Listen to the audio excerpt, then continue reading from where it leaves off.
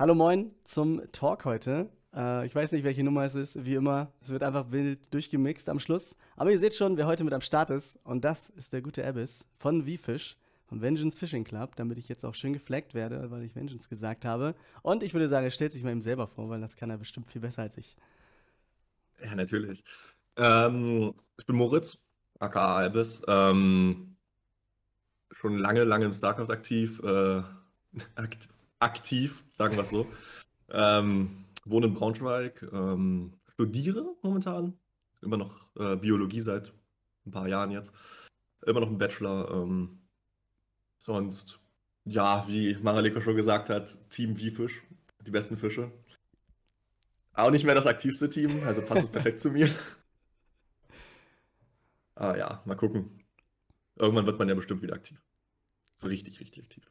Ja, das hoffe ich natürlich. Du, dann gibt jetzt einmal die erste Standardfrage ist natürlich immer, woher kommt dein Name? Oh, das ist eine Geschichte. Ähm, also, ich weiß nicht mehr, wieso Abyss wirklich. Also, es hat angefangen, als ich elf oder zehn war, brauchte ich einen Gamertag. Und das war damals noch Super No Pro.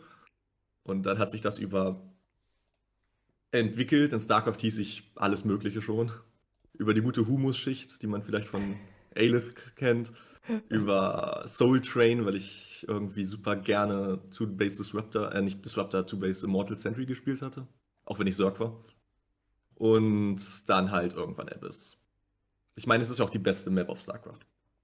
Ja, das ist jedes Mal wieder, wenn ich Wikipedia irgendwas einrichte, freue ich mich immer wieder, wenn erstmal die Map verlinkt ich ist. Ich bin bin überall verlinkt. Ach ja. Okay, ich schreibe noch wieder einen Link dahinter. es ist immer dasselbe.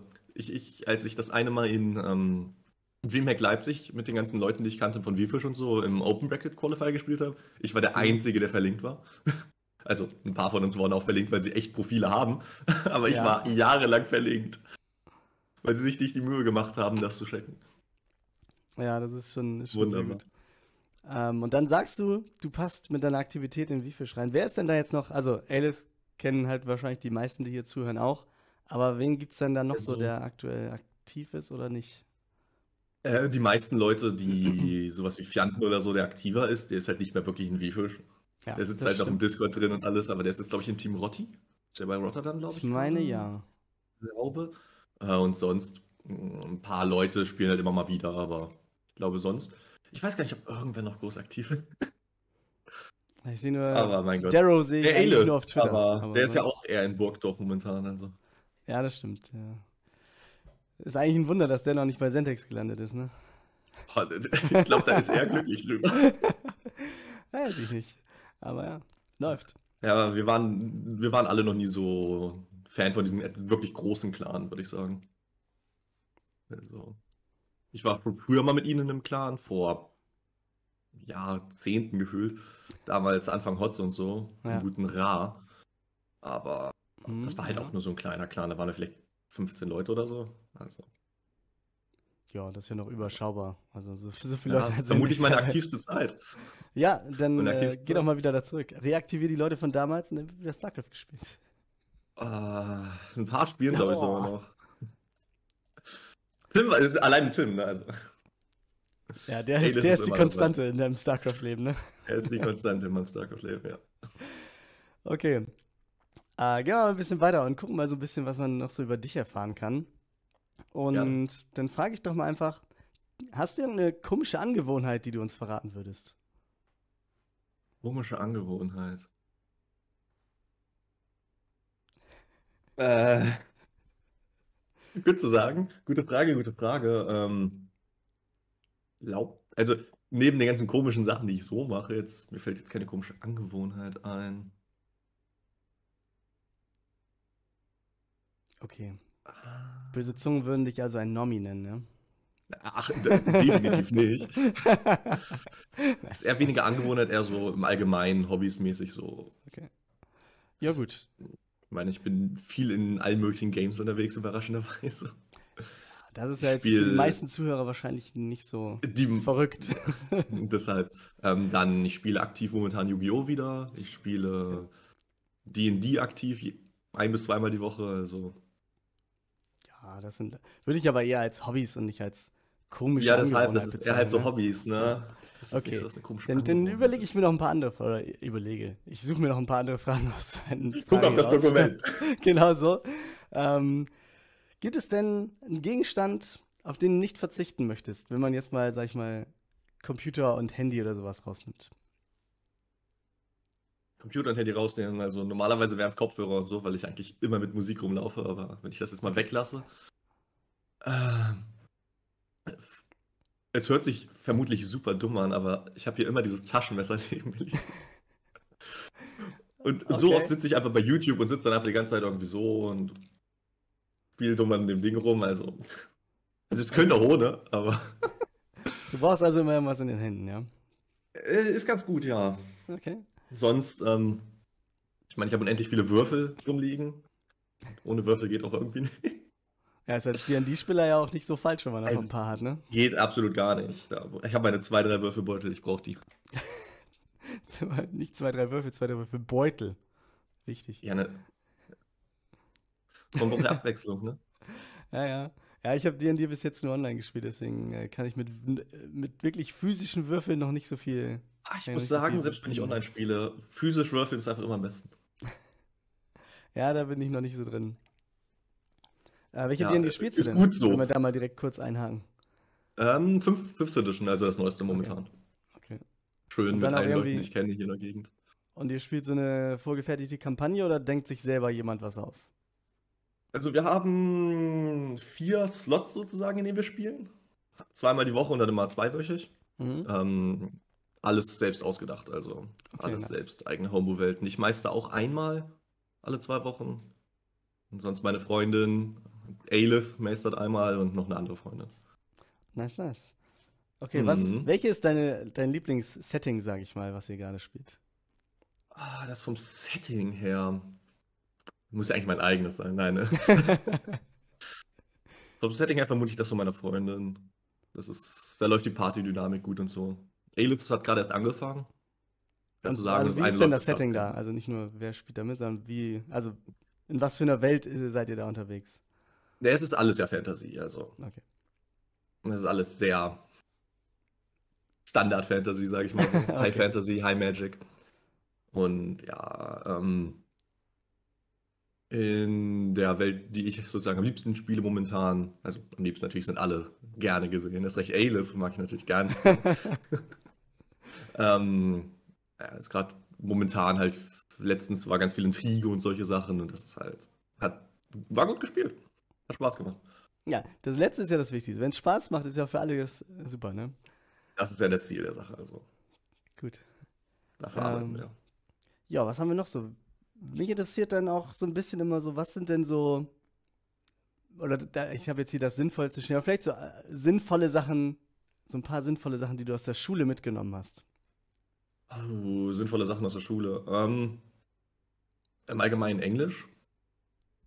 In, in Klammern, ja, weil ich habe ehrlich gesagt Englisch erst so gut nach der Schule gelernt. In der Schule lief das immer so ein bisschen mehr. Ähm, ich könnte jetzt sagen Biologie, weil ich Biologie studiere. gut, dass ich es in der Schule mitgenommen habe. Ähm, ein paar Sachen. Ich habe, mein einer Mathelehrer war in der Oberstufe ganz gut. Der hat immer ganz viel dafür gesorgt, dass man auch schon weiter außerhalb der Schule sozusagen Sachen gemacht hat, also weiterführendes Sachen. Wir hatten da auch einmal so einen, eine Woche, wo so ein paar Leute von uns in so Management-mäßig reingegangen sind und sich das mal angeguckt haben und so. Das war eigentlich auch ganz interessant, falls man halt sowas mal später machen möchte. Vermutlich nicht so 100% meins, aber es ist immer gut zu wissen. Das einmal gut alles zu kennen und so. Ja, kann ich dir sagen, Ähm. ist gut für dich später, wenn du, selbst wenn du in die Forschung gehst, kann ich dir jetzt schon sagen, ist gut, wenn du so ein bisschen Management-Hintergrund Im, es ist immer gut. hast. es ist ja. immer gut. Es ist, die Leute sind zum Teil so verplant. Es ist, ich merke das ja schon im Studium. Ja, ich, ich prüfe das ja, was irgendwelche da Leute-. Wenn irgendwelche Leute, die Praktika leiten, mehr verplant sind als du, der, der Ja. Praktikant ist, ist es immer wieder traumhaft. ja, genau, sowas. Und im Allgemeinen halt Kommunikationsskills und so, also mit Leuten klarkommen, das ist natürlich das, was wofür die Schulzeit gefühlt gedacht ist. Du kennst, lernst da so viele Leute kennen. Ähm, Und ich glaube, das ist einfach fast schon am besten, einfach soziale Kontakte knüpfen. Ich meine, ich habe immer noch Freunde aus der Schulzeit. Beispiel A-List, den kenne ich seit der fünften Klasse. Okay, krass. Also, es ist immer halt viele Kontakte geknüpft. Meine Freundin kenne ich auch schon seit der Oberstufe, mit der ich jetzt zusammen bin. Also, Es ist, ich finde es einfach ganz gut, wenn man halt wirklich mit vielen Leuten interagieren kann. Man lernt das sozusagen. Man lernt auch mit den Lehrern halt zu interagieren. Das hilft mir jetzt im Studium ganz viel, wenn ich halt weiß, wie man mit Älteren, mit seinen Lehrleuten umgehen kann. Obwohl das im Studium nochmal ein bisschen anders ist, aber hier ist es Ja. nochmal ein bisschen noch entspannter. Immer wieder, Ja, glaube ich. immer wieder spaßig, wenn man nicht weiß, wie man E-Mails zurück an, zurück an seinen Professor schreibt, wenn der ankommt mit Hey Moritz. Und so bist du. Ja. Hm, kann ich jetzt auch Hi? Robert! Ja, genau. Das ist äh, verständlich. Das kenne ich auch sehr gut. Ja, Ähm, mal gucken, ob man auf du wechseln darf. ja, das ist immer die Frage. Ne? Wer, wer fragt oder wer bietet an, das ist immer so ein Mhm. Ding. Vor allem, wenn man, sag ich mal, bist du an der Uni oder an der Fachhochschule? Ja, Uni. Ja, dann, Also- ist, dann sind ja auch meistens noch mehr Leute in einem Kurs, sodass man vielleicht nicht so den direkten Draht während oder nach der Vorlesung mal hatte und dann weiß man, okay, da geht das und da geht das nicht oder er sagt das sowieso, sondern wenn man sich, sag ich mal, mehr oder weniger dann über Vorlesungen oder auch über E-Mail dann nur kennt, sag ich mal, dann ist die Kommunikation ja, Ja. manchmal noch ein bisschen schwieriger, weil man nicht so dieses Face-to-face, äh, man guckt, Erst wie der andere so über die drauf halt, ne? Corona-Pandemie. Ja, Erst recht genau. über die Corona-Pandemie war es ja noch mal schlimmer, weil da hatte man, hatte ich dann zum Teil halt ein Jahr lang eigentlich keine Vorlesung in Präsenz und dann hast du Ja. halt kein Face-to-Face mit dem Professor. Er hat eine Kamera an, du sitzt da und hörst zu. Und alle anderen sind stumm und haben die Kameras aus. Ja, Ja, Ich- natürlich. Ich habe ja in der Zeit auch genau ein Semester unterrichtet. Das war Katastrophe. Man, man hört ja halt für die Hälfte der Zeit gar nicht zu. Man, ich, Ja, es ist echt schwer, Online-Vorlesungen zuzuhören am PC, weil ich habe halt einen zweiten Bildschirm und das ist YouTube offen. ja, genau. Vielleicht dann nochmal durch Twitter scrollen und dann, na, mein Gott. Was hat er gerade gesagt? Ach komm, da ist eine Katze. Erstmal Katzenvideos nebenbei gucken. Ich, ich, ich studiere Biologie. Es ist doch Du lernst. Tiere. Ich lerne. Ich, ich gucke mir das Tierverhalten an. Genau so. Okay, aber dann noch so ein, zwei Sachen zu dir und dann gehen wir mal Richtung äh, nächste Runde. Und was ich gerne noch wissen würde, ist, gibt es irgendwas, was du dir zu Weihnachten wünschst dieses Jahr? Oh, das fragen mich schon alle Leute. Du machst es mir echt nicht einfach. Mich auch, ich brauche Ähm. Inspiration. Willst du mir was schenken? Nein. Nee, vielleicht ist ja was dabei, was ich auch gebrauchen kann. ähm, ähm, neben, ich glaube, ich wünsche mir von meinen Eltern so richtig schöne, so Pfeffermühlen, Salzmühlen mäßig Oh. so. Ja. Weil es halt einfach mal gut zu gebrauchen. Muss man nicht einfach so einen Salzstreuer mal benutzen und so. Und eine Chilimühle auch, da kann man so richtig gut mal, muss man nicht die äh, getrockneten Chilis oder so klein machen. Sonst, ähm, ich meine, ich bin für alles Mögliche offen. Meine Freundin, meine Freundin schenkt mir ein paar Yu-Gi-Oh! Karten. Das ist auch ein gutes Hobby von mir. Ähm, sonst, ich habe schon überlegt, ich könnte mir, ich habe schon überlegt, ob ich mir von irgendwie einer, noch einem Teil meiner Familie irgendwie ein Brettspiel oder so wünsche. Weil ist eigentlich auch immer geil, mal zu haben. Und ich hatte eigentlich mal Lust, so ein, zwei Brettspiele so für zwei Leute dann so zu haben. So wirklich welche, die nur für zwei sind. Okay. Weil sonst sitzt man immer da und spielt so, ich spiele ja nicht Monopoly zu zweit. Also, Genau. Das ist ja nicht der Sinn des Spiels. Ja, siehst du, hast aber ja schon mal Sowas einiges. Da haben die Leute ja wenigstens eine Auswahl. Da ist die Chance, dass die Leute was doppelt schenken, ja relativ gering, sag ich mal. Du kannst ja allen was anderes Ja, geben, hoffe ich mal. Und ja sonst, nice. ich meine, die, die Zubehör bin ich auch immer dafür da. Also, ich habe schon lange keine Würfel mehr bekommen. Oha. Sehr gut. Äh, und dann quasi Anschlussfrage: Gibt es irgendwas, worauf du dich nächstes Jahr schon freust? Mm. Ein paar Sachen. Ähm, ich freue mich natürlich auf die nächste Mara Lekos Liga. Ach so. Äh, Ich, ich, Okay. es ist meine, es ist mein Monthly StarCraft. Ähm, ich ähm, werde vermutlich meine Batch, meinen Bachelor nächstes Jahr kriegen, wenn alles klappt, wie ich es geplant habe. Also darauf freue ich mich, dann bin ich nämlich damit schon mal durch. Ähm, sonst nächstes Jahr. Ah, es gibt so viel. Es gibt so Ähm. viel. Ist jetzt schon ein ganzes Jahr durchgeplant, ja? Nee, nicht wirklich. Ich plane irgendwann noch mal ähm, eine paar E-Sports-Veranstaltungen zu besuchen. Letztes Jahr jetzt war ich nur einmal unterwegs. Da habe ich mir einmal die europäische League of Legends Szene angeguckt in Berlin. Mhm. War ganz cool, möchte ich nächstes Jahr mal wieder machen. Bin ich auch ganz gut drin. Und sonst, ich hatte vor, vielleicht nächstes Jahr zum Home Story Cup zu fahren. Vielleicht mal irgendwie, wenn irgendwas wieder in der Nähe ist, vielleicht mal eine Dreamhack wieder besuchen. Ist jetzt auch schon ewig her, seit ich Dreamhack Leipzig war. Also Dreamhack Hannover wäre jetzt für dich in Braunschweig quasi schon Ja, eine Sache. ein paar Leute, die ich kenne, Aber ich weiß fahren nicht, hin, aber ich hab- da ist, ne? Ich habe halt durchgeguckt und ich glaube, es war nichts da, was mich wirklich angesprochen hat. Äh, zwei, ein Freund und eine Freundin von mir fahren hin, die haben dann noch da LAN-Slots und so, aber das, so, dafür werde ich ja nicht hinfahren. Also. Okay. Kann ich ja. auch von zu Hause spielen. Ja, das, das stimmt schon. Also LAN, wenn man Bock drauf hat, ich bin ja LAN-Organ, ne? ich darf ja jetzt nichts gegen LAN sagen, so, ne? Aber ich selber, LANs sind super gut, aber ich finde diese riesigen LANs ist immer nicht so meins. Ich bin dann eher so, Okay. okay, Leute, wir treffen uns zu zehnt und setzen uns Also- so unbequem wie physikalisch möglich in den kleinsten Raum, wo wir reinpassen. Und dann sitzen wir da und es ist 75 Grad hier drin, aber wir haben alle mega Spaß. Also Oldschool-LAN ist genau dein Ding, ja.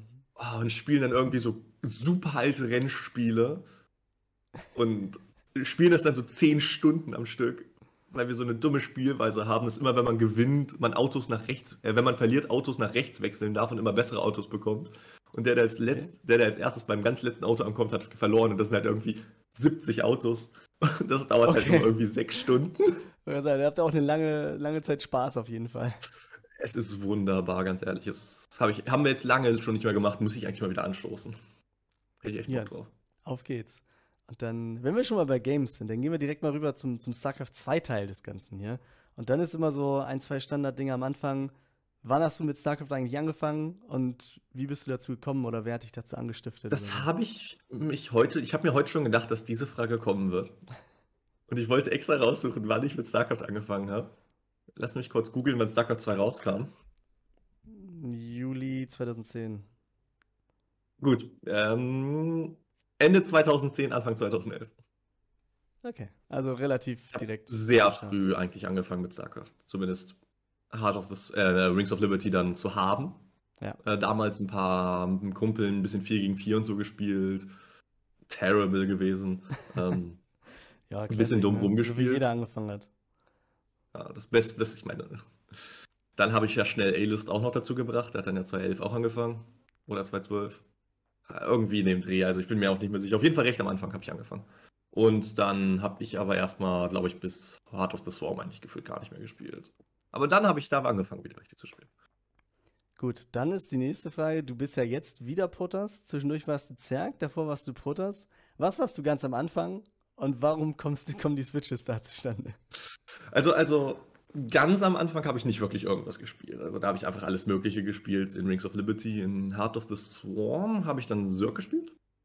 Hm? Eigentlich nur Zerg. Ähm, in Legacy habe ich dann angefangen mit Zerg ein bisschen und nachdem ich dann irgendwie so ein Jahr lang gar nicht gespielt habe, war ich so, hm, eigentlich wollte ich schon immer mal Protoss spielen und jetzt kann ich auch Zerg eh gar nicht mehr. Und dann habe ich halt angefangen, einfach Protoss zu spielen und äh, letztens hatte ich halt wieder Bock, irgendwie Zerg zu spielen und habe dann halt diese eine Saison Zerg gespielt. Lief okay. Das Problem, was ich mit Zerg habe, ist, dass ich meine Playstyle nicht gut spielen kann. Dieses, ähm, ich spiele eine Woche nicht und dann spiele ich Maralekos Liga. Ja, okay. Das, das geht mit Zerg nicht so gut. Da bin ich, wenn man nicht aufgewärmt ist, das erste Game immer im CVT oder so, ist halt Mhm. einfach terrible gewesen. Ja, fühle ich. Also, Zerg, Und, Zerg ist und schon mit Protoss geht das halt. Mit Protoss ist das Makron einfacher, finde ich, als mit Zerg, weil du nicht auf so viele verschiedene Sachen gleichzeitig achten musst. Du kannst dich mehr darauf fokussieren, einfach nur Worker zu bauen und ein bisschen Units nebenbei zu bauen. Und wenn du einfach ein gutes defensives Play machst, so wie ich gegen Terran spiele, dann gewinne ich halt meistens einfach dadurch, dass ich besser makro. Und mit Zerg musst du halt auf so viele Kleinigkeiten achten. Und du kannst nicht gleichzeitig Units und, und ähm, Worker bauen. Ja, Das heißt, ich sterbe immer mit ja. 70 Workern. Auf der perfekten Side. Ein Pro hat irgendwie 80, ich habe 70, bin richtig glücklich und dann sterbe ich gegen 12, 12 Marines und das Game ist over. Ja, auch ein, auch ein Classic auf der Ladder. Also die Leute, die dann denkst du, oh Absoluter ja, ich, Klassiker. ich habe drei Bases, vielleicht gerade so die vierte gebaut, gerade so fertig. Und dann kommt er rein, irgendwie zwei Base Push, hast einmal nicht gescoutet, weil überall Turrets in seiner Base standen oder so ein Shit. Und dann nimmt er dich einfach hoch mit so ein paar Marines. Oder du hast es gescoutet und bist du ja deftig easy. Ja. Oder und dann das. stirbst du einfach. Oh, noch kein Baneling gemorpht, schade. Kein Baneling-Nest gebaut. Oh, oh Bailing Speed vergessen, schade. Ja, genau sowas. Ach ja. Ähm, ja, aber da hast du ja schon zwei Rassen. Äh, Sieht man dich dann irgendwann nochmal als Terraner?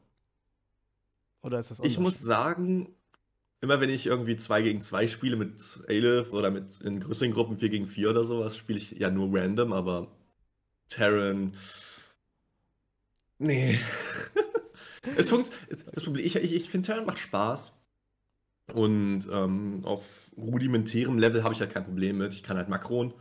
Wenn ich mit Protoss Makro und Terran Makro ist eh nicht genug, dass es kein großes Problem mehr gibt.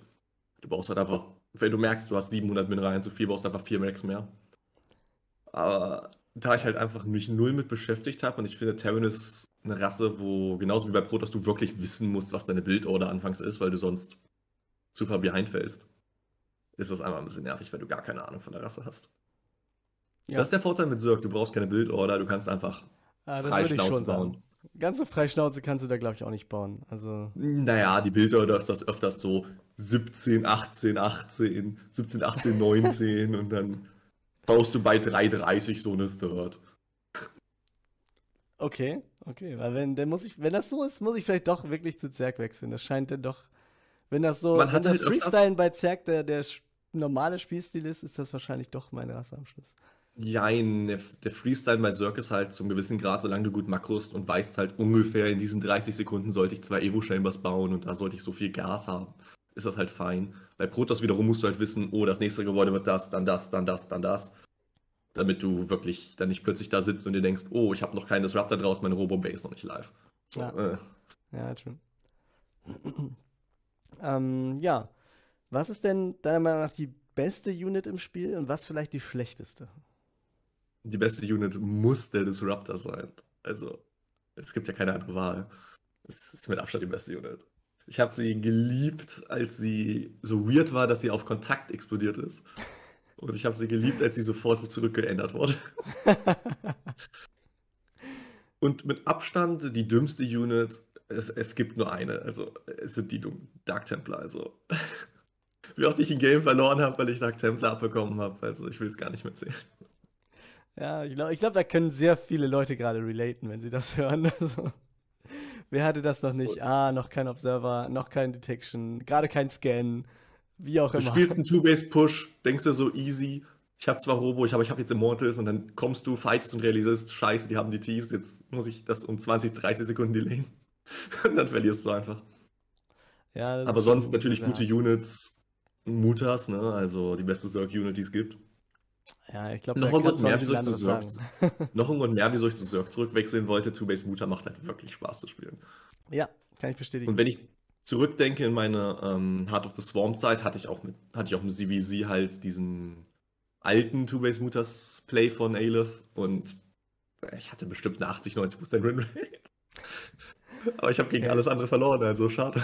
Vielleicht muss ich mir wirklich nochmal ein richtiges Replay reinziehen. Also zwischendurch spiele ich ja auch Zerg gerade und äh, es macht, es macht halt einfach Spaß, Spaß, ne? Also eine richtige ja, Bilder ja. für Two-Base Muta, das ist halt auch so, ich freestyle da noch relativ hart rum.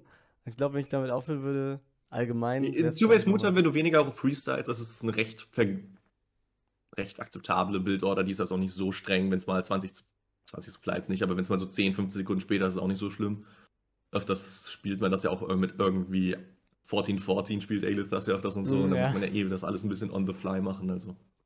Ja, wenn, wenn ich mir nochmal. Ist auf jeden Fall. Es, es, macht mega viel Spaß. Vor allem, man kann es auch gegen ja. Terran machen. Einfach immer dieselbe Bildorder gehen, das ist ein Traum. Ja, läuft, ne? Ähm, ja, was würdest du denn Leuten empfehlen? Ich meine, wir haben jetzt das Spiel ist schon alt, ne? Aber wenn jetzt noch jemand neu anfängt mit StarCraft, was, was wäre so deine Empfehlung, wie man da reinkommt vernünftig? Ah, wie man reinkommt, vermutlich wähle eine Rasse, egal welche jetzt. Theoretisch sind halt solche Sachen wie Protoss natürlich ein bisschen einfacher als Zerg, weil du an weniger Stellen anfangs arbeiten musst und Probleme hast. Aber nimm die Rasse, auf die du Lust hast. Äh, such dir für, mach dich vertraut mit natürlich den Units, weiß, wie alles grob funktioniert zumindest. Und ähm, nachdem du ein bisschen Spiel am besten einmal die Kampagne, ganz ehrlich. Ja.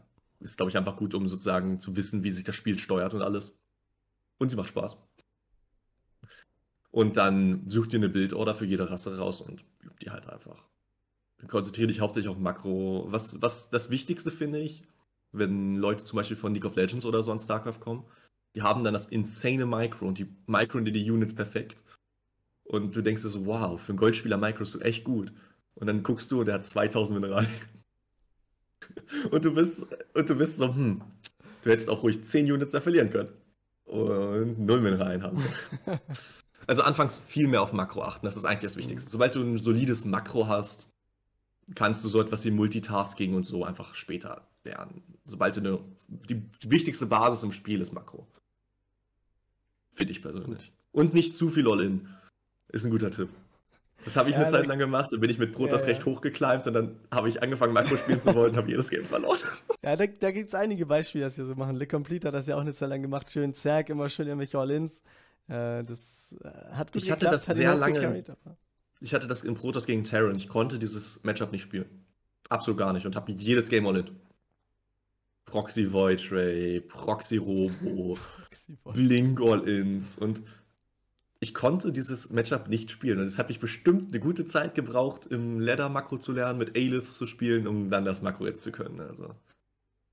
Dafür bin ich jetzt meiner Meinung nach ziemlich gut im PvT. Ja, das ist doch, dann hat es ja was gebracht, das Lernen. Das ist doch schon mal gut. Ja, natürlich. Ich finde, man merkt seinen Progress in StarCraft eigentlich ziemlich gut. Ja, Wenn man sich wirklich fokussiert auf Sachen, merkt man, ey, ich habe jetzt mich jetzt anderthalb Wochen aufs Makro fokussiert und es wird einfach besser. Ja, das merkt man. Auf jeden Fall. Vor allem, wenn man auch einigermaßen regelmäßig spielt und dann immer nach dem Spiel mal guckt, wie viel Work habe ich eigentlich gebaut. So, dann hat man es auch Was immer noch- weiter im Kopf und hat es immer wieder drin und diese Repetition, die man immer drin hat, bringt halt dann schon relativ viel. Ne? Was ich noch wichtig finde, ist, achte weniger auf Pros am Anfang. Weil es immer so, oh, der Pro spielt das so und so und so und so und das ist theoretisch besser, aber ganz ehrlich, du guckst dann runter und siehst, ich habe Overminerals, dann sag nicht, oh, man kann sich aber nur so viele Gates finanzieren. Ja, ist doch egal. Du, du bist doch eh schlecht, also bau sechs mehr. genau. Vor allem, richtig, vor allem, ja. vor allem Zergs auf Low Elo haben das Problem. Die sind, die sehen einfach nicht ein, eine Makro-Hedge zu bauen oder so. Und manchmal habe ich mir gedacht, ey, ich habe so viel mehr rein, ich baue zwei Makro-Hedges auf vier Basen. Wenn ich es nicht hinkriege, dann habe ich Ja, immerhin nee. die Units dann, ne? Ja, und im Zweifel bist du ja dann auch, wenn du die Mineralien sammelst, auch beim Injecten wahrscheinlich nicht so krass. Dann hast du Deshalb halt weniger Larven, dadurch, dass du nicht injectest, dann hast du vielleicht ein paar mehr Bases, dadurch du gleicht ein schlechtes Spiel ruhig durch anderes äh, schlechtes Ja. Spiel aus, was theoretisch nicht gut ist. Es ist halt, einfach- es ist halt einfach so. Larven. Das stimmt Es gibt schon. Schlimmeres. Äh, genau, du hast gerade schon gesagt, oder ganz am Anfang auch schon gesagt, du bist in, in League gar nicht so schlecht. Dann äh, kommt auch direkt die Frage, du spielst League, das haben wir schon rausgehört. Gibt es noch andere Ja. Spiele, die du, also sag mal E-Sport-Spiele oder vielleicht auch so Solo-Games, die du gerade spielst? Ähm, also E-Sport-Spiele, also ich spiele alles Mögliche mal wieder an. Ich spiele aber an eine Runde Valorant, ab und ran. Früher ab und an eine Runde CSGO, aber ich, in den ganzen Spielen war ich eigentlich nie gut. Ähm, sonst, ich habe eine Runde, lange, lange Zeit um 2019 so rum Osu gespielt. Hm, okay. Stundenlang taglich, täglich. Aber auch nie so gut gewesen. Und sonst, ach, ab und an Solospiele absolut nichts gegen. Auch so Roguelike, Indie-Spiele, so Slay, Slay the Spire, Card-Building-Games. Großer Fan von. Ähm, alle möglichen Online-Simulatoren für auch Kartenspiele. Also, ich meine, ich spiele Yu-Gi-Oh! im Real Life ab und an auch mal eine Runde online dann halt. Sonst natürlich ein großer Fan von sowas wie Pokémon. Gute Klassiker. Ja, wer Ab und an geht's dann nicht? rüber, setzt man sich hin, mal ein bisschen die Switch anmachen. Also. Und auch die ganzen alten Spiele immer wieder. Also. Bin ich mit aufgewachsen, gehört dazu. Sehr gut. Ähm, ja, was ist denn, so jetzt mal so ein bisschen äh, bunte Tüte quasi anfangen. Was, was ist denn was, wenn du. Streams guckst, was dich dazu bringt, dass du dran bleibst? Und was sind Sachen, wo du dann abschaltest? Äh, es gibt zwei unterschiedliche Arten sozusagen von Streams, die ich gucke. Äh, die einen sind natürlich Unterhaltungsstreams. Da ist überraschenderweise ist halt wichtig, wie der Streamer drauf ist. Unterhält er sich? Unterhält er die Leute? Ist er witzig drauf? Ich meine, wir gucken ja nicht alle Maralekos wegen dem High-Level-Gameplay. Was? Das halte ich jetzt aber für ein Gerücht. Und dann gibt es natürlich Games. Es ähm, gibt dann auch noch ein paar Streams, die ich mir einfach angucke, wenn ich halt zum Beispiel Pro mir angucken möchte oder so. Die sind dann öfters halt. Ich meine, es gibt genug Pros, die super unterhaltsam sind, aber in anderen Spiels, Spielen gibt es halt auch Pros, die halt nicht so unterhaltsam sind, aber da möchte man sich vielleicht mal was angucken, wo man weiß, oh, da möchte ich ein bisschen was lernen. Äh, momentan halt wieder, demnächst kommt ein neu, in League of Legends ein neues Teamfight Tactics Set raus, spiele ich auch immer mal gerne. Und ich habe keine Ahnung, was gerade abgeht. Also guckt man sich dann ein paar gutes, gute Leute an und guckt einfach mal so, was die machen. Und dann geht das schon. Also sowas halt. Und auch bei Yu-Gi-Oh! gibt es genug Personalities, die super unterhaltsam sind. Und dann gibt es halt die Leute, die wirklich extrem gut sind, wo du dann einfach zuhörst, um einfach nur deren Gedankenprozesse zu verstehen und einfach nur zu sagen, so, okay, gut, ja, sehe ich es auch so, jetzt wo du sagst, so. Also gibt es Also bei es dir auch so ein so zwei bisschen, unterschiedliche. ja, so ein bisschen auch der Unterschied zwischen wahrscheinlich aktiv und passiv gucken hier und da so ein bisschen, weil wenn man, wenn du sagst, Pro-Gamer zu gucken, dann ist ja meistens eher so, dass man wirklich guckt, Was macht er? Ja, da versucht man um das dann wirklich und nachzuvollziehen. Unterhaltung ist eher so, wenn was passiert, gucke ich mal rüber oder so. Ja, Unterhaltung ist aber auch sowas wie, sowas kann man halt, finde ich, gut neben, wenn man irgendwie selbst was spielt, anhaben. Ja, ich zum ich habe immer gerne mal irgendwie mindestens Musik, aber meistens aber eigentlich einen Stream an neben mir, der mich, der mit mir redet, wenn ich irgendwie LOL oder StarCraft spiele. Und sonst, manchmal liege ich, ich schlafe auch persönlich immer äh, vorm Schlafen, gucke ich auch mal irgendwie noch eine halbe Stunde mindestens in irgendeinen Stream nachts oder so. Ich bin oft genug mit meinem Handy eingeschlafen, dass der Stream noch für vier Stunden weiter lief. Äh, Kleinigkeiten. Und ähm, ja, wenn man das halt so nebenbei was macht, ich meine, es gibt auch genug Unterhaltungsstreams, wo ich dann mal stundenlang wirklich aktiv dabei bin. Aber meistens hat man die dann halt nebenbei an und interagiert dann halt immer mal wieder. Ist, als würde ich mit irgendjemandem im Discord sitzen manchmal, ne? Ja. Wenn man so im Maraleko-Stream sitzt, müssen mit ihm schreiben. Ach, ist wie als ja. würde man mit ihm im Discord sitzen. Ach ja, ist das schön. Ähm, ja, aber dann, dann mache ich doch mal direkt eine Maralekos-Frage auch rein. Und zwar gehen wir zu Turnierfragen. Was ist denn so dein, dein Lieblingsturnierformat? Ich meine, es hat alles Vor- und Nachteile, sind wir ehrlich. Ne? Ähm, ich finde diese Replay-Liga-System gerade ziemlich gut, einfach weil es flexibel ist. Man spielt nicht so viel am Stück. Das heißt, es ist nicht schlimm, wenn man irgendwie ein schlechtes Spiel hat, dann ist es nicht so, wow, jetzt muss ich aber noch so 10 Games spielen, was ein Scheiß. Jetzt bin ich schlecht drauf. Ähm, und du kannst halt zeitliches gut einplanen. Wobei ich aber auch absolut gerne ähm, solche richtigen Brackets-mäßig spiele, so richtig Oldschool-Turniere mit so Loser-Brackets, Gewinner-Brackets und so. Und dann irgendwie so einen ganzen Abend mal so irgendwie so 10 Games am Stück spiele, einfach nur um mich durch, durch dieses Slugfest einmal durchzugehen und am Ende so richtig schlechte Games im Finale abzuliefern, weil alle schon erschöpft sind. Oh ja, schön. Nach, Macht halt auch sieben mega Stunden nochmal ein schönes Best of Seven reindrücken. Richtig geil. Und so richtig hier schon so sitzen, so, äh, was mache ich Nachts um drei. Oh, das habe ich letztens von Tim gehört, äh, von Aelith, als er ähm, so ein A-Turnier gespielt hat. Irgendwie so, ich so, wieso bist du so müde? Also, ja, ich habe bis 4 Uhr morgens dieses Turnier gespielt. Das hat erst um 12 angefangen. Ich nur so, was? Stark. Am nächsten Tag musste er irgendwie um 8 Uhr raus, um mit mir Yu-Gi-Oh! zu spielen und er war komplett fertig. Das war wunderbar. Oh, sehr gut, ey. Ja, ist aber auch ein Classic, glaube ich, dass dieses, also nicht nur, wenn man Turnier spielt, sondern allgemein einfach mal spielen und dann Zeit vergessen, ist ja auch so eine Sache, die man gerne mal hat. Und dann so- ist auf einmal so 3 Uhr, denkst du so, ach shit. Was ich aber Wow, auch sagen würde, was ich richtig, richtig geil finde, das habe ich aus den Zeiten, wo man halt aktiv im Clan Wars und so gespielt hat, diese ganzen Teamformate. Es ist einfach Mhm. wirklich ein Traum. Diese ganzen Teamligen machen so viel Spaß. Mit diesen ganzen ähm, All-Kill-Formaten oder auch diese einfach nur so gegeneinander und dann Ace-Spieler nochmal Mhm. Es macht persönlich sehr viel Spaß. Also, Maralekos Team League Ren. Ja, eins nach dem anderen. Ich habe erstmal noch andere Pläne. Aber, also ich muss eins nach dem anderen machen. Erstmal die nächste Saison. Dann für die übernächste Saison habe ich schon Planungen, aber das äh, kommt dann irgendwann zwischendurch erstmal. Wann ist eigentlich das große Maralekos FFA-Turnier? Das Free-for-All. Das FFA-Turnier. Das wäre doch mal was. Man hat so 16 Leute und dann gibt es so zwei Lobbys. Da spielt man dann zweimal oder so. Und dann mischt man sie noch einmal durch, nochmal zweimal spielen und die Top 4 oder so von beiden Lobbys kommen dann weiter. Dann am nächsten Tag nochmal mit acht Leuten oder so. Das wäre ja fucking funny. Ja, ist dann die Frage. Da muss man, muss man sich noch ein System überlegen, wenn man sagt, okay, 16 Leute, dann spielen die irgendwie zwei, Nee, dann hat man ja zwei Lobbys sozusagen, weil es sind Ja. immer acht Leute. Und dann die Top 4 machst du quasi in die nächste Runde? Mhm, von beiden. Und dann hast du halt nochmal einen Top 8.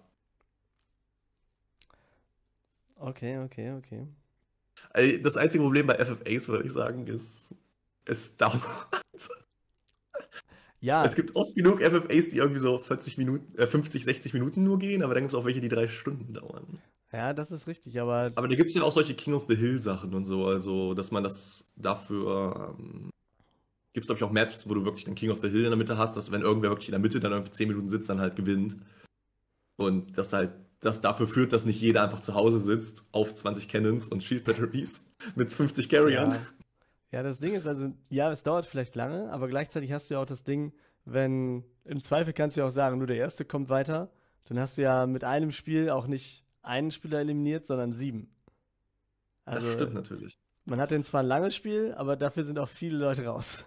Also ich glaube, da wären halt schon wirklich Leute dabei. Vor allem die Sache ist auch bei FFA, da ist nicht dieser riesen Skill-Unterschied ein Problem. Also da können auch einen GM-Spieler gegen einen Dia-Spieler easy verlieren, weil es ist ja ein Teamspiel. Es ist ja indirekt ein Teamspiel. Ja, es ist ja. so ein, Es, die Sache ist halt die, es ist ja alles so ein ähm, Social Game dann auch gleichzeitig mit diesen Wargames, Mindgames, so, hm, wenn ich dich jetzt nicht angreife, hilfst du mir dafür später in die Richtung und so. Und Am besten steckt man die Leute dann auch noch in einen extra Discord-Channel und nimmt dann noch einen zweiten Account mit rein, mit dem man dann zuhören kann zwischendurch, was diese erzählen die ganze Zeit. ich, glaube, Marelekos, du hast das neueste Format. FFA Okay. Monday. Let's go. Okay, Monday. Ja, mal gucken. Jeden Montag ein FFA mit Marelekos. Ja, Wollo. Okay, ein, eine, eine FFL wäre wahrscheinlich zu kurz. Da muss man sich ein bisschen mehr überlegen, weil. Uh, sag das uns. Damals im Wiefisch, wenn wir das gespielt haben, ging die sechs, sieben Stunden manchmal. Okay, dann ist das schon ordentlich. Aber ich sag mal, wenn jetzt. Okay, ja, das jetzt nicht, aber bestimmt so zwei, drei Stunden. Mit der Armee, mit der Traumarmee, mit allen Units zusammen, weil er, weil Tim Sirk war. Gegen Und dann so, dass es Turtle bei allen Doom. laggt, meinst du, wenn es in den Fight geht und dann bleibt das Bild kurz stehen und am Schluss sind vier Units noch da und einer hat gewonnen? Ja, exakt. Okay. FFAs sind wunderbar. Alle denken, du bist schon tot, aber in echt sitzt du nur auf irgendeiner Insel. Ja, das stimmt. Ist schon oft vorgekommen, sowas. Ja, aber dann habe ich jetzt Leider mal eine gute Idee auf jeden gibt. Fall, was man noch so machen kann. Weihnachtsstream, sage ich euch. Heiligabend Uh. vormittags, FFA. Let's go. Ah, bin ich nicht da. Dann vielleicht ein anderes Mann! Mann! Nimm Meine mich einen Laptop mit so und Scheiße. zu Hause von meiner Mutter, bei, bei den Eltern meiner Freundin mit. So auf dem Küchentisch. Ja. Schön, die anderen machen Plätzchen und du so, ich muss spielen.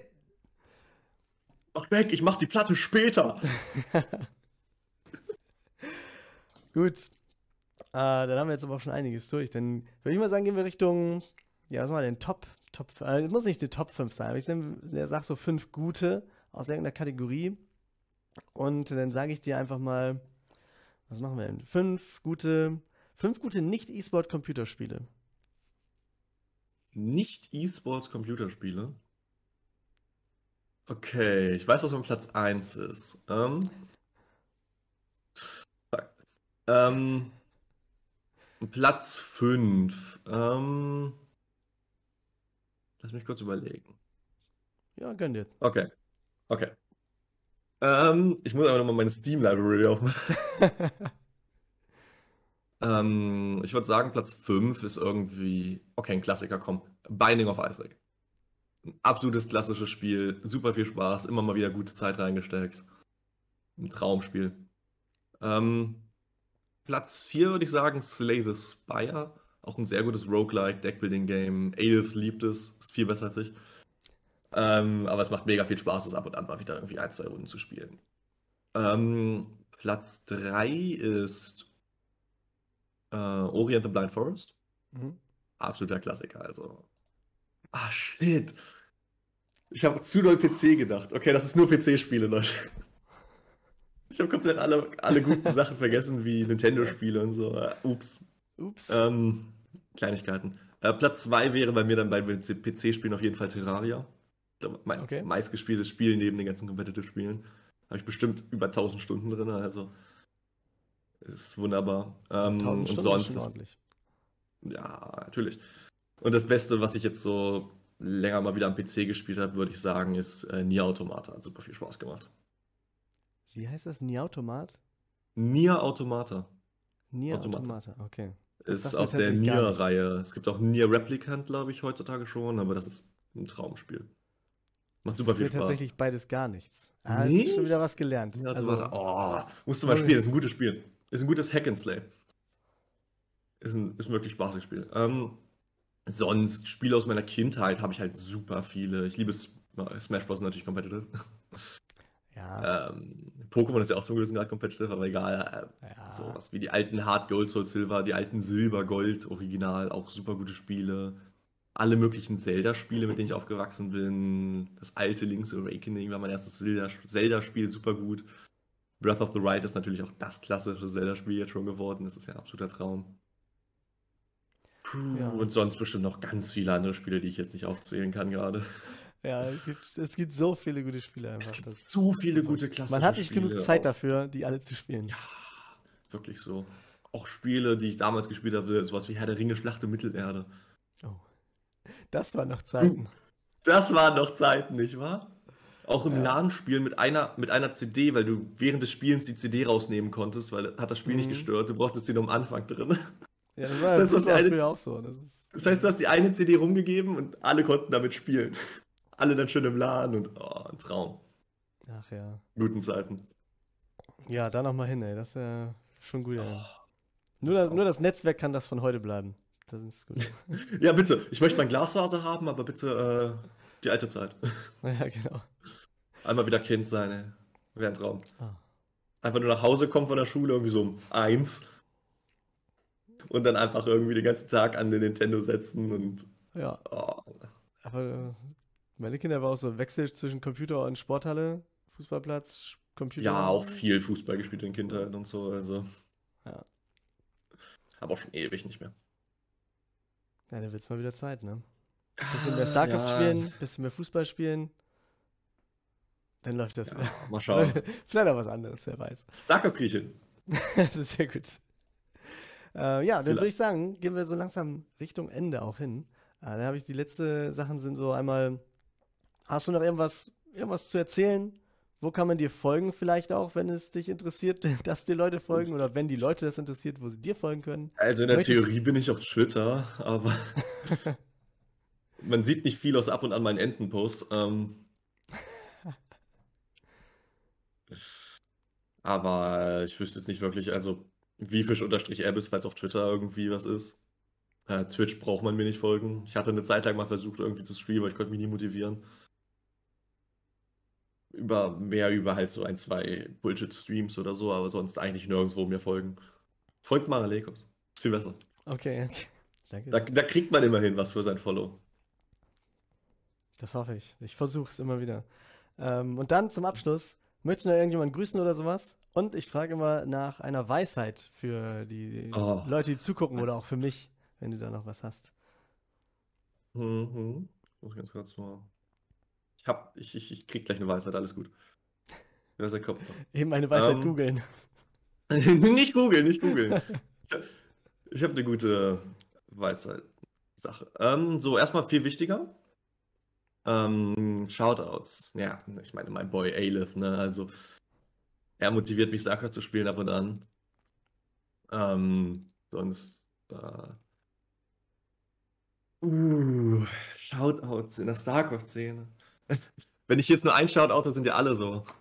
Dann, dann sind die anderen so traurig. Ja, wenn du fünf machst, dann sind wahrscheinlich noch mehr traurig. Weil sie dachten, sie sind Uh, mindestens so das einer schlimmer, das wird immer fünf. schlimmer. Also, ja, das Shoutout, sonst, ähm, oh, mit wem habe ich so viel zu tun? Ich habe halt nicht so viel mit den ganzen Leuten so außerhalb von StarCraft wirklich zu tun und mache nicht so viel außerhalb mit den Leuten, aber ich bin halt, in StarCraft verstehe ich mich immer eigentlich ganz gut mit all den Leuten. Also, ich meine, so, ich meine, Klassiker, ne, gegen Stahlbolzen spielen ist immer wieder wunderbar und so, also, Ja. macht immer wieder Spaß. ah, nee. Die ganzen StarCraft-Leute, die alle mitspielen, wunderbar, freut mich. Macht nächstes Mal wieder in der Mara Legos Liga mit, ne? Ich komme eine Liga höher, also will ich auch, dass da die guten Leute noch sind. Lasst mich bitte gewinnen. Und, und besiegt mal alle Aelith, damit der absteigt, damit ich endlich in die Liga mit ihm komme. Das wäre schon, wär schon ganz geil, wenn du jetzt Das aufsteigst. ist der Plan. Er steigt von oben ab und ich steige von unten auf. Okay, okay. Dann musst du aber, glaube ich, noch ein bisschen mehr spielen, als du es aktuell tust. Ja, so ungefähr zehnmal so viel. Glaube ich auch. Ich ja. schieß einfach. Ich schieße jetzt einfach jeden weg. Ey, wenn's Das ist meine. Ankündigung an euch, Leute. Ich schieße euch alle. Alles klar. das ist ja schon mal gut. Okay, hast du, de, hast du eine Weisheit gegoogelt? Ich habe sie nicht gegoogelt. Ich wollte gucken, ob ich irgendein dummes Zitat von mir finde. Schreibst du deine guten Sprüche auf, ja? Äh, wenn sie bei D&D kommen, werden sie manchmal aufgeschrieben, ja. Ah, okay. Aber ich glaube, es gibt keine so gute Weisheit hier. Damn. Ah, was, was sind denn so übliche Weisheiten, die Leute so bringen? Was, ist, was, was haben die anderen so gesagt? Das sage ich dir doch nicht. Du musst du die Talks gucken. Ja, die gucke ich danach noch. Ach, Ja, Ich glaube, ja die beste Weisheit, die ich- bekommen. Ne? Ja ja, natürlich nicht. Die beste Weisheit, Leute, ist, äh, die habe ich vorhin schon gesagt, die StarCraft-Weisheit. baut mehr Makro-Hedge. Wenn ihr wisst, dass ihr kacke seid, Leute, ganz ehrlich, habt keine, habt keine Schande darüber. Seid stolz, dass ihr kacke seid und arbeitet so. gut, gut, gut, das ist wichtig. Der erste Weg zur Besserung ist die Einsicht, wie war's?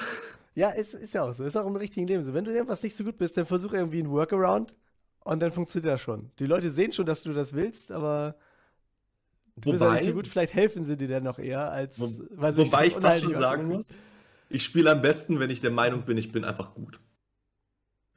Wenn ich ins Game sage und sage, ich gewinne, ich bin zehnmal besser als er, dann gewinne ich meistens. Also, äh, Confidence, Confidence. genau, Confidence. Einfach rein. Seid confident in eure schlechte Sachen, die ihr macht. dann werden sie ein bisschen besser. Sehr gut. Das äh, ist ja auch so ein Präsentationsskill, den man haben muss, ne? Mhm. Gutes Auftreten bei kompletter Ahnungslosigkeit, das macht man so. Ja. Vielleicht frohen, Ad- frohen dritten, zweiten Advent, wer weiß, wann es hier kommt. Ja, wer weiß, wer weiß. Das weiß ich selber noch nicht so ganz. Frohes Aber- Nikolaus.